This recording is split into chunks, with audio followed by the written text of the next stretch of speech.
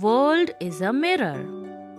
Once there was a museum in which there was a room which was made of mirrors. Its wall, roof, and even floor was made of mirrors. One day, caretaker of that museum forgot to lock the back door of museum which lead directly to that mirror room. A dog was roaming near that museum and by mistake entered that room. When dog was in middle of room and saw its own reflection and thought of it as that a whole pack of dogs were surrounding him from all sides.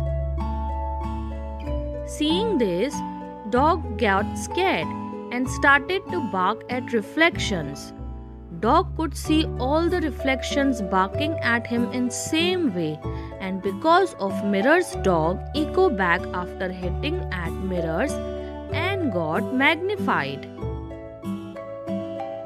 Frightened by it, dog started to bark frantically.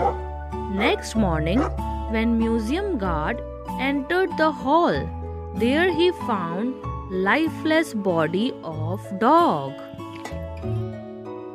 There was no one to harm that dog, but yet it died fighting its own reflection.